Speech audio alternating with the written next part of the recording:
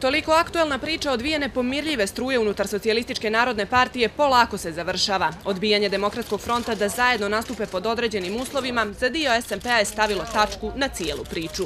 Imajući u vidu takav odnos Demokratskog fronta, koji je ostao nepromijenjen do današnjeg dana, kao i zaključak sa 16. sjednice glavnog odbora od 5.8.2012. godine, Socialistička narodna partija Crne Gore će na predstojećim parlamentarnim izborima nastupiti samostalno. Ovakva odluka uslovila je drugu i to onih koji se danas nisu pojavili na sjednici glavnog odbora. Osim delegacije koja je tokom prethodne sedmice razgovarala sa Miodragom Lekićem, bivši lider Predrag Bulatović i još šest članova partije odlučili su da pristupe Demokratskom frontu. Istovremeno pozvali su članove glavnog odbora da preispitaju odluku o samostalnom nastupu na izborima.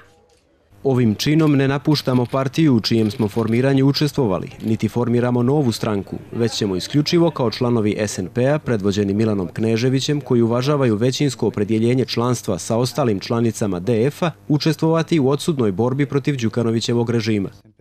Iako nakon sjednice glavnog odbora niko nije htio da komentariše odsustvo Bulatovića i Kneževića, budući članovi Demokratskog fronta i to su objasnili.